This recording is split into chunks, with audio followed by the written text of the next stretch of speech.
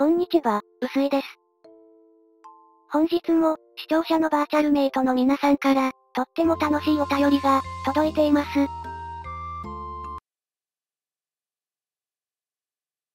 うすいちゃんこんにちは。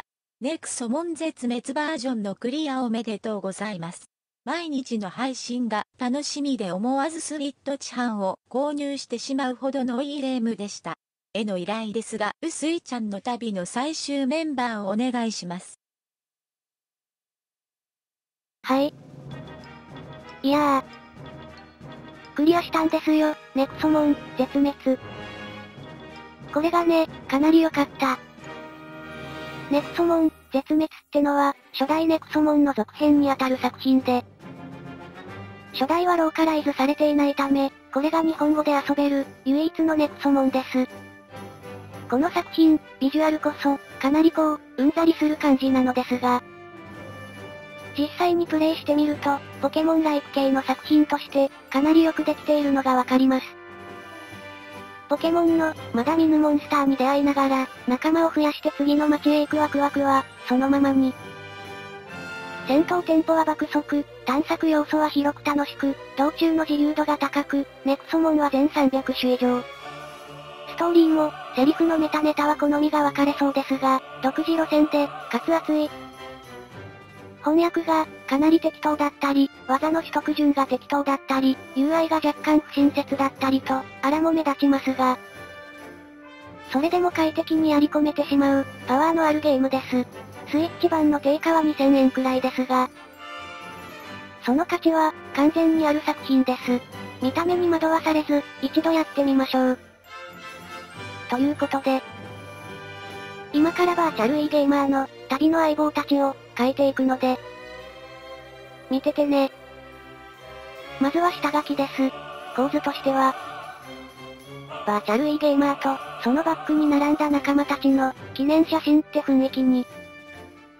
相棒その1、ノーサイダルくん？ゴーストタイプで、旅の初めに選べる9種のネクソモンのうちの、1匹の進化系です。続いて、水タイプのゾーネクソモン、タスカント君。ゴーストタイプは、炎タイプに弱いわけなので、それを狩るために迎え入れた、水のスペシャリストです。3匹目、オストロルト君は、電気タイプのネクソモン。ご存知の通り、ゴーストタイプは、水タイプにも弱いので、それを狩るために、現地投与されました。よくわからない構造の、体をしていますね。第4選手、ルメレイ君。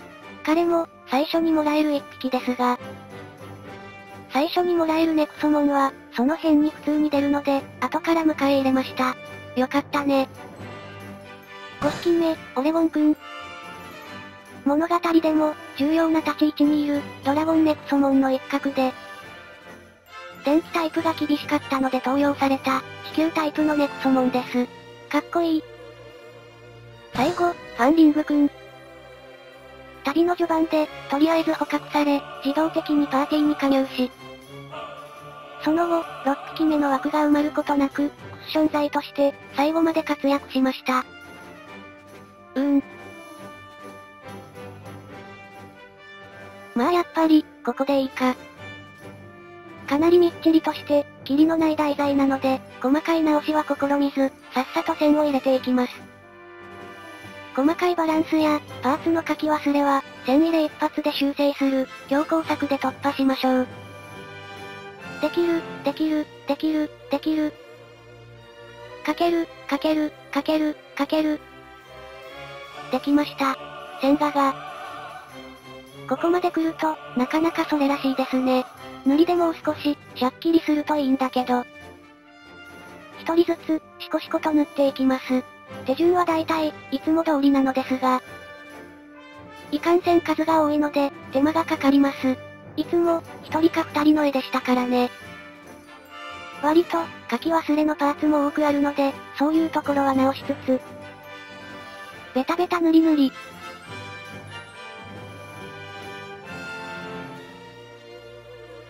地面は、のっぱらがいいかな。影を入れていきます。影色は、原作の付け方を参考にしまして。キャラによっては、グレーで影付けするなどします。いつもはしない付け方なので、新鮮ですね。ここもさすがに、量が多いので、ざっくりとした影付けを、心がけますが。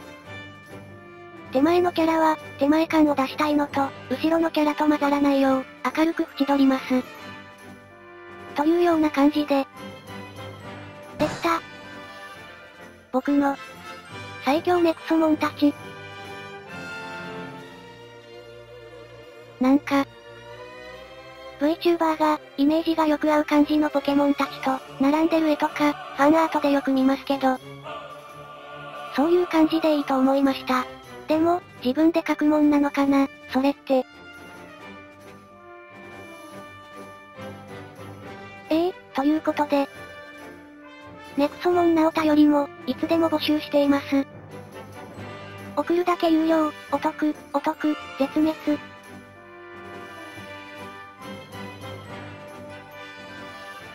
ピカチュウ。